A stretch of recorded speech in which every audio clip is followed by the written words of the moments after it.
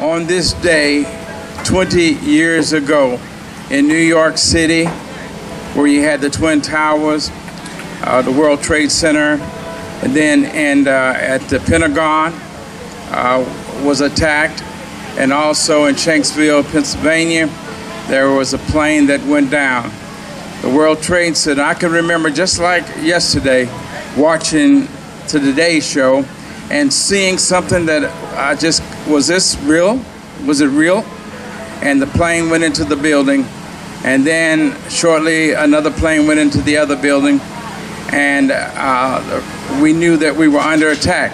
We were under. Remember the first responders, the policemen, the firefighters, and all, and the individuals who rushed into danger to save people. It was a tragic event uh, that took place. When the planes crashed into the Pentagon and into a field in Pennsylvania, when those two towers fell in New York City 20 years ago, I myself was a New Yorker. I have no new story that adds any more color or insight to that day that hasn't already been told a million times. But I do want to echo an observation that I've seen others make that bears reflection today, something that happened in our country in the aftermath of that tragedy that hadn't happened for many decades prior nor hasn't been seen since.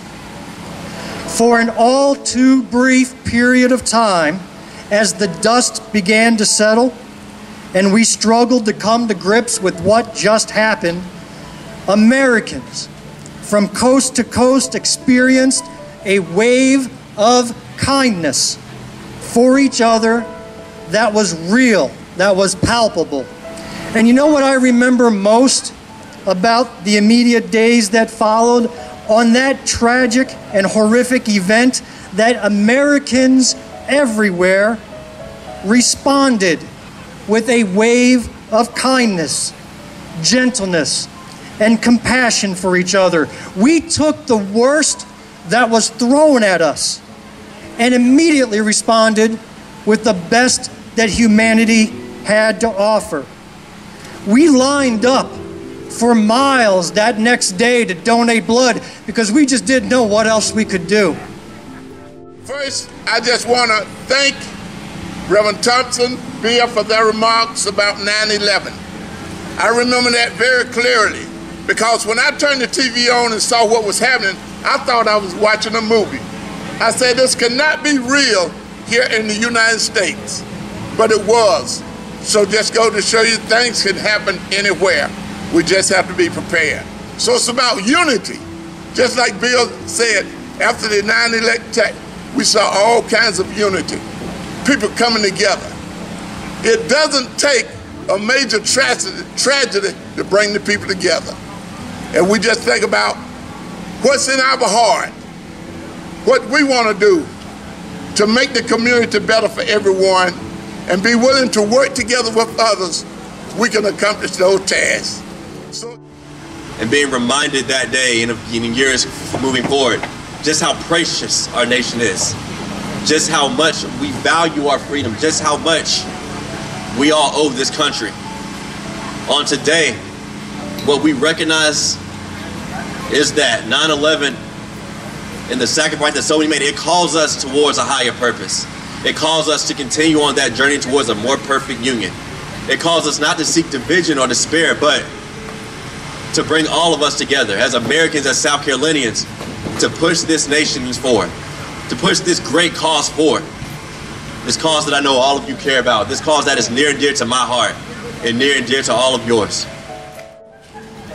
Today marks a, a significant milestone in the history of America. 20 years ago, on this day, we were attacked. And I just want to say this.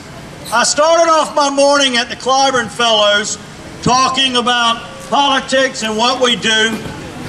And here we are today, out here together, socially distanced, having some fish, honoring Floyd Nicholson, But most importantly, we are out here participating in democracy. That means that we won. That means that 20 years ago today, it didn't necessarily affect our democracy. It made us stronger. Yeah. And that's something that we can be proud of as we gather here, participating in the freedom of making sure that our democracy survives, Senator. Yeah.